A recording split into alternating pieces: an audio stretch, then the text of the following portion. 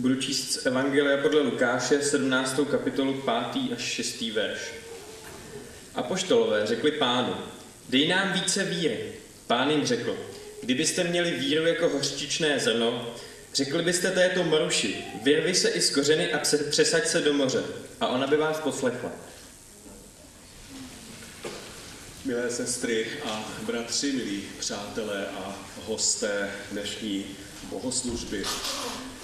Věřím, že jste sváteční dny konce roku 2009 prožili v klidu a také jste si snad mnozí udělali čas na ticho. Myslím na čas, který jsme trávili rozjímáním, co jsme v předchozím roce prožili spolu jako rodiny, manželé, co jsme prožili ve sboru, jak se rozvíjel, vyvíjel náš vztah s Bohem, co všechno také Pán Bůh dovolil, abychom okusili, čím vším dovolil, abychom prošli. Co nám Pán Bůh dal jako malé, drobné dary, a nebo někoho z vás viděno našima očima obdařil velkými dary nebo velkým darem? Asi ano. A je také normální, že když stojíme na začátku dalšího roku, tedy roku 2010, tak si říkáme, co nás tak asi čeká. Máme své plány, máme eh, taky svoje naděje, ale stejně tak i svou nejistotu při pohledu do budoucnosti. Velmi přeji vám, ale také i sobě, abychom v letošním roce ve vztahu k tomu, co budeme muset řešit a čím budeme muset procházet, abychom zaujímali postoj muže, o kterém si přečteme ze základního textu k dnešnímu kázání. Takže čtu z Lukášova Evangelia ze sedmé kapitoly prvních deset veršů. Lukášovo Evangelium, sedmá kapitola od prvního verše. Když to všechno svým posluchačům pověděl, odešel do Kafarnaum. Tam měl jeden setník otroka, na němž mu velmi záleželo. Ten byl na smrt nemocen. Když setník uslyšel o Ježíšovi, poslal k němu židovské starší a žádal ho, aby přišel a zachránil život jeho otroka. Ti přišli k Ježíšovi a snažně ho prosili – je hoden, abys mu to udělal. Neboť miluje náš národ a synagogu nám vystavěl. Ježíš šel s nimi a když už byl nedaleko jeho domu, poslal k němu setník své přátele se vzkazem. Pane, neobtěžuj se, vždyť nejsem hoden, abys vstoupil pod mou střechu. Proto jsem se ani neodvážil k tobě přijít, ale dej rozkaz a můj sluha bude zdrav. Vždyť i já podléhám rozkazům a vojákům rozkazuji.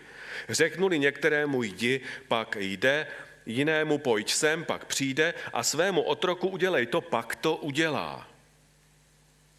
Když toto Ježíš slyšel, podivil se obrátil se k zástupu, který ho následoval a řekl, pravím vám, že tak velikou víru jsem nenalezl ani v Izraeli.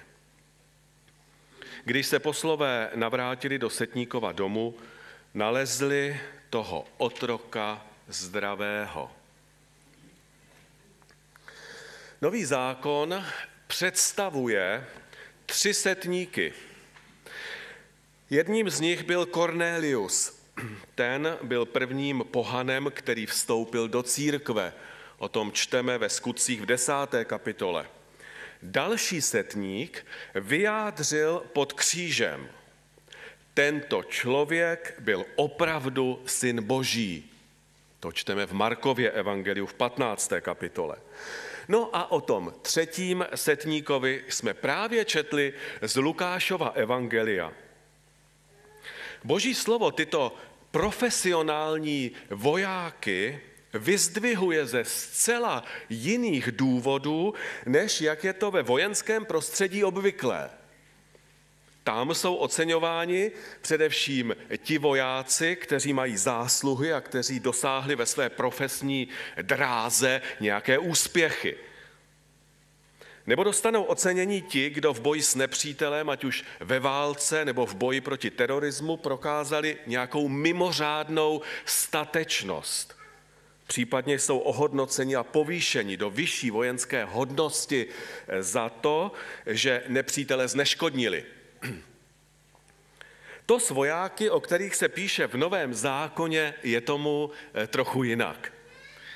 Ti jsou zmiňováni pro svou pokoru, protože se jeden z nich například modlil, nebo pro sociální pomoc, ale hlavně pro jejich víru. Četli jsme příběh římského vojáka, kterého potkala eh, velmi nepříjemná situace, Potkalo ho něco velmi nemilého, co mu dokonce způsobovalo, jak prozrazuje text, velkou bolest. Četli jsme příběh muže, který věřil. A tím se právě dnes budeme nejvíce zabývat. Prosím vás, jakou víru měl tento Říman, když o něm Ježíš řekl, ani v celém izraelském národě jsem takovou víru nenašel. Kdo z nás by si nepřál mít takovou víru jako onen setník? A určitě by ti Milané, Mílo, Květo, Luďku, Milado, mohl bych vyjmenovat vás všechny, určitě by nám způsobilo radost, kdyby o naší víře pán Ježíš řekl úplně to samé. Většinu z nás by potěšilo, kdyby se stejným způsobem Ježíš o naší víře vyjádřil. A to zejména v dnešní době, to by teprve vyniklo. V dnešní době, o které už teď platí, že kdyby Ježíš přišel po druhé, zdališ by vůbec v lidech víru našel. Víme, že víra je dar od Boha, ale jak se to celé stane? Jakým mechanismem můžeme takový dar, který měl i setník, vlastně přijmout?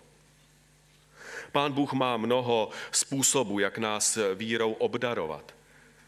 Ale prosím vás, jakým procesem získání víry prošel setník z příběhu, který dnes sledujeme? Takže se k tomu příběhu vrátíme. Čtu třetí verš ze sedmé kapitoly eh, Lukášova Evangelia.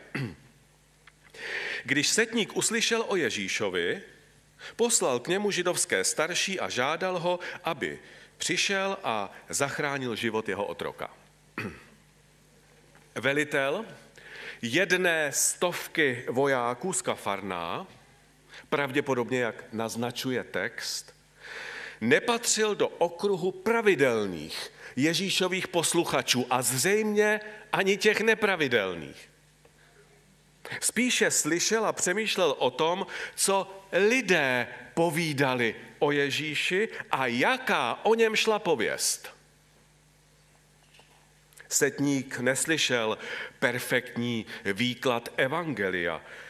Toto pověření zvěstovat evangelium dal učedníkům Ježíš a posléze také samozřejmě církvi daleko později. Setník se ani neúčastnil evangelizační kampaně, jak někdy takto nehezky říkáme svědectví o Kristu, které mají lidé slyšet. Setník nemohl docházet do biblické školy, ve které by doktoři teologie, znalci Nového zákona, vykládali evangelia, protože taková škola ještě v jeho době k dispozici nebyla.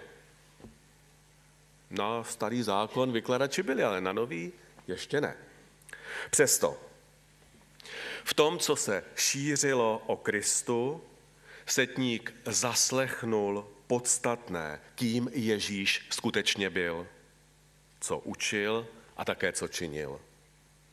Ježíš je ten, kdo pomáhá, kdo přemáhá zlo a kdo říká pravdu. Tomu porozuměl setník velmi dobře.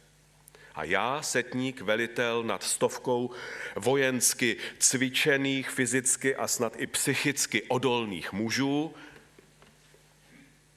potřebuju pomoc. A jestliže někdo pomoc nabízí, pak pro tu pomoc pošlu své známé z řad židovských starších.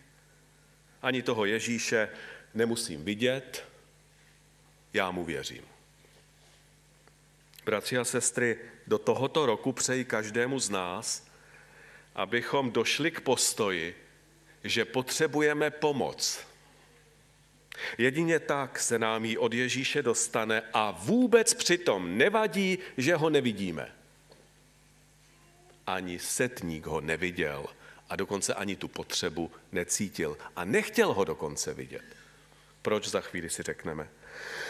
Dále, kdo neslyší o Ježíši, nemůže se logicky na něho obrátit.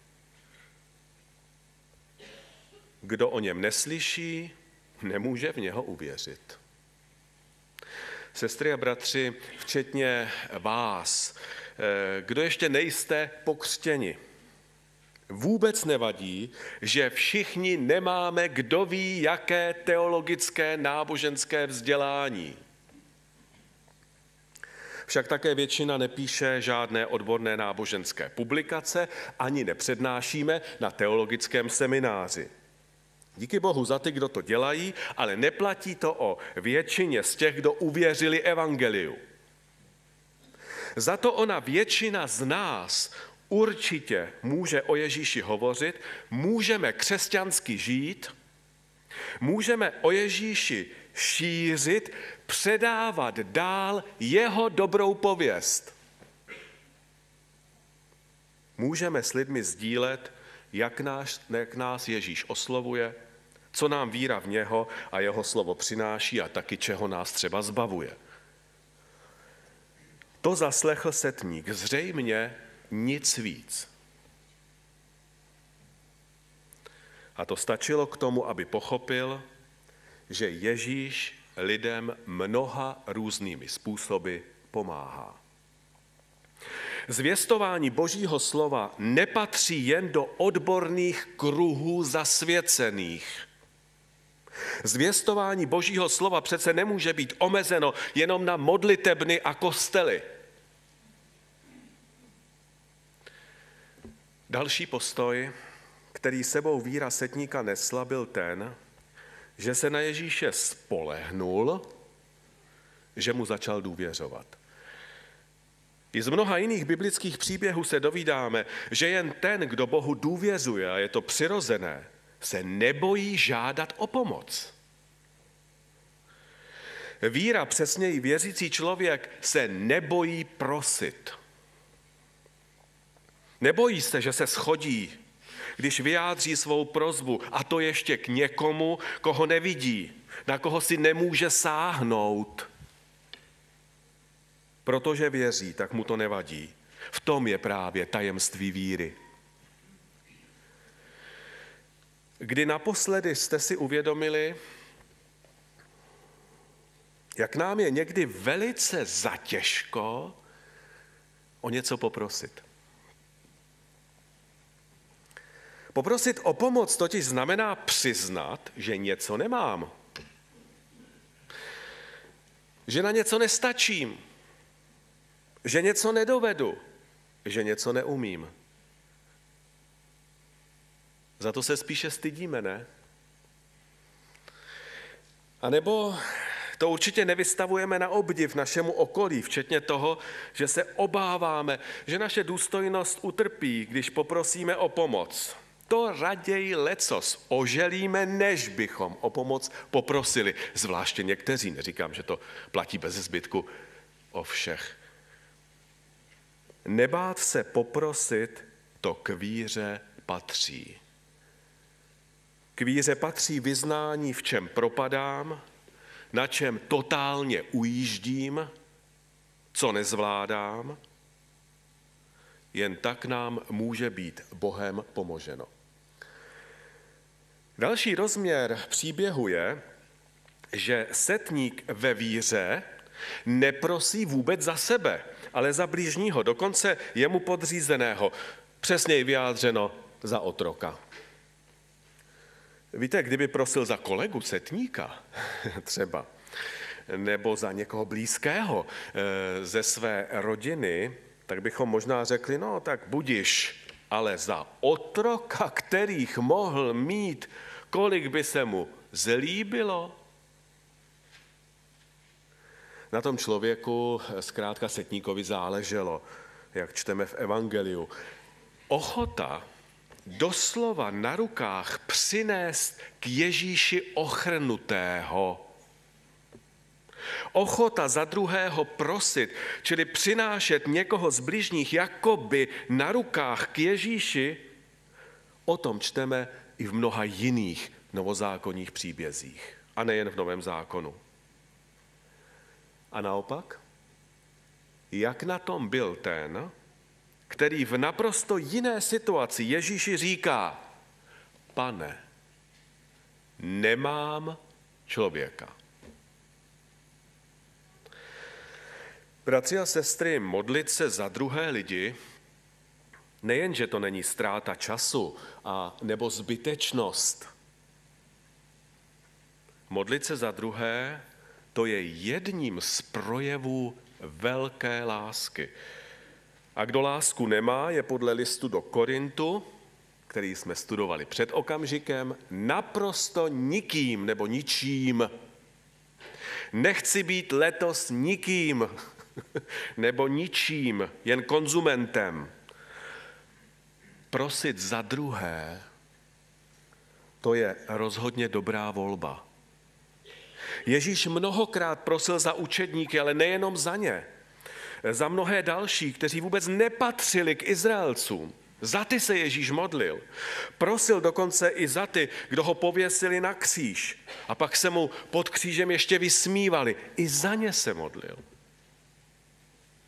Opakuji, je projevem velké lásky, když se za druhého člověka modlíme. To je také poslání zboru, to je poslání církve.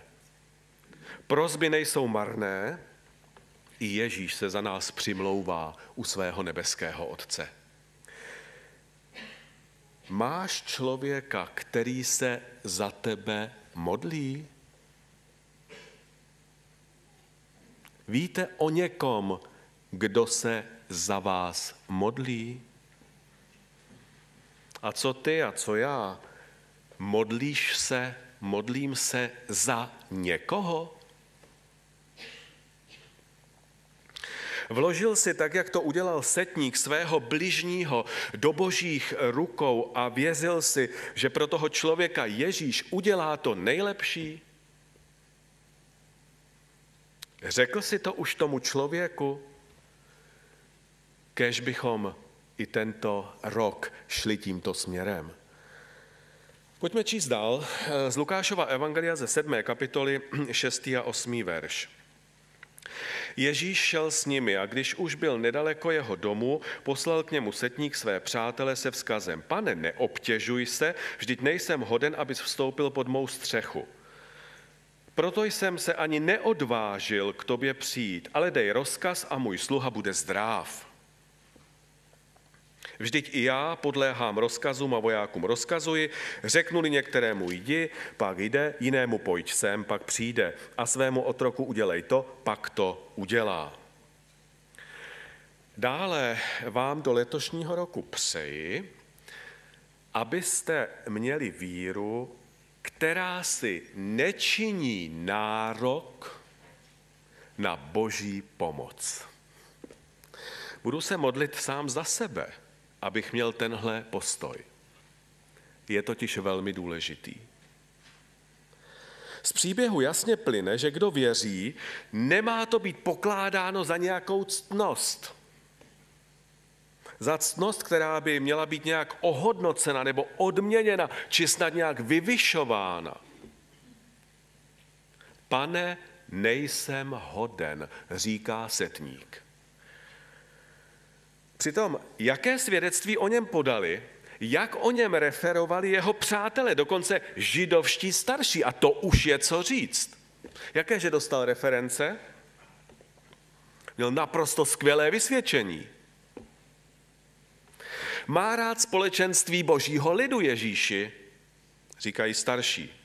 Nechal postavit synagogu, čili je sponzorem naší komunity, židovské komunity v Kafarnau. Ježíši už skoro věří jako my, je hoden, abys mu pomohl.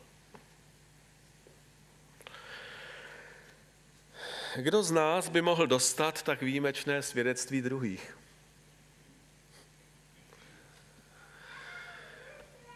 Přesto ten muž říká, nejsem hoden. Nebyl nějak málo asertivní, jak by zřejmě řekli psychologové? Netrpěl nějakým nízkým sebevědomím? Někdo by ho mohl obvinit, že to jeho nejsem hoden zní teda ale pěkně falešně. Ne, ne, přátelé, ve vyjádření setníka je ukryta hluboká pravda o naprosto správném postoji člověka před hospodinem, před Bohem. Vždy co jiného můžeme Pánu Bohu říct. A tak spolu s tímto velitelem vojáků vyznávejme i my. Nemáme žádné zásluhy na tom, že věříme. Nemáme žádné zásluhy na tom, že ty, Ježíši, můžeš uzdravit ty, za které se modlíme. Nemáme na tom absolutně žádné zásluhy. A on pokračuje dále. Vidím, jak poslouchají mý podřízení. Řeknuli jednomu jdi, jde a tak dále. Vždyť i já jsem člověk podřízený. Všimli jste si, že právě na toto vyjádření Ježíš reaguje tak, jak čteme v devátém a desátém verši? To je docela zajímavé, často to tak přelítneme. Když to Ježíš uslyšel o těch nadřízených a podřízených, eh, podivil se, obrátil se k zástupu, který ho následoval a řekl, pravím vám, že tak velikou víru jsem nenalezl ani v Izraeli. Proč právě v tuto chvíli Ježíš vyjadřuje svůj údiv nad vírou toho setníka?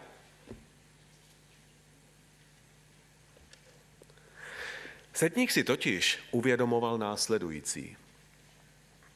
Já jsem zodpovědný svému veliteli, ten zase místodržiteli a místodržitel se zodpovídá samotnému římskému císaři. Setník díky tomu, že je loajální vůči svým nadřízeným a poslouchá je, může dávat rozkazy svým podřízeným a ti jej poslouchají. Jeho rozkazy tak mají autoritu samotného císaře. Ježíš dává setníkovi za pravdu. Proč? Protože setník vlastně vyjadřuje své vyznání víry. Kriste, ty podléháš autoritě samotného Boha, poněvadž ho naprosto bezpodmínečně posloucháš. Měl pravdu? No, Janovo evangelium, 8. kapitola, 29. verš. Jan 8, 29. Ten, který mě poslal, je se mnou. Nenechal mě samotného, neboť Stále dělám, co se líbí jemu. Setník pochopil, že Ježíšova slova a jeho činy vycházejí z Kristovy poslušnosti nebeského Otce. Takhle Ježíše nechápali ani ti jeho úplně nejbližší, tedy učedníci na to širší okolí Izraele. A proto se to Ježíše tak silně dotklo. Příběh setníka ukazuje, že věřit neznamená uznávat Ježíšovu zázračnou moc jenom jako takovou samu o sobě. Věřit znamená připustit, že tato jeho moc pochází od Boha. Ježíš obdivoval jeho víru v to, že je poslán, tedy Ježíš, že je poslán od Boha. Proto jej poslouchá a v jeho moci činí zázraky. Setník měl pojetí Krista a víru v něho jako v této situaci málo kdo, pokud vůbec někdo druhý takový. Setníkovi to bylo jasné. Tak jako já jsem podřízen svým nadřízeným a mohu vydávat rozkazy podřízeným, tak to děláš, Kriste, i ty. Ty jsi podřízen Bohu, ty jsi podřízen svému nebeskému Otci. A proto ty výsledky té tvé činnosti. Ježíš žasnul nad jeho vírou, pokud jde o Ježíšovi kompetence. Proto říká, no to jsem nikde, to jsem nezažil. Takovou víru v celém Izraeli jsem nenašel. Že by někdo věřil, že mě vlastně poslal otec. Že v jeho moci, v jeho síle konám zázraky. Že ho neustále poslouchám. Že on mi dal kompetence. Setník dává základ tomu, co později rozvíjí ve své hluboké teologii pod vlivem Ducha Svatého, zejména apoštol Pavel. Předposlední myšlenka. Bratři a sestry, kolik takových setníků asi žije dnes a třeba v našem okolí? Možná je potkáváme, ale protože se ještě neprojevili, tak nevíme o jejich postojích. Nevíme, že to jsou ti setníci, když mají jiné povolání, to nevadí. Proto Bůh říká, že je Bohem všech, nejenom těch, kdo patří do církve, kdo jsou součástí Božího lidu. To mějme na paměti i letos, to je důležité. Ježíš je spasitelem všech, nejenom křesťanů. Kdokoliv se přiblíží k Ježíši, tak je jim přijat. Proto máme přijímat a modlit se za lidi takzvaně odjinut, z jiných kruhů, než které tak důvěrně známe. A to poslední setník vyznává, Kriste, tvoje slovo má velkou moc. A přece stačí slovo a můj služebník bude uzdraven. Říká, stačí slovo. Spoléhejme se na Ježíšovo slovo i v tomto novém roce. Nebojme se prosit jej o pomoc a taky ji přijímat. Nejsme toho hodni. Ano, nejsme toho hodni ale přijmout boží milost můžeme a máme. Prostež od Boha pomoci a doufajte v něho, pána svého v srdci mějte. To jsou slova, o kterých jsme nejenom dnes dopoledne přemýšleli, ale teď budeme mít možnost je slyšet ještě ve zpívané podobě v nádherném chorálu, kdož jsou boží bojovníci. Amen. Modleme se.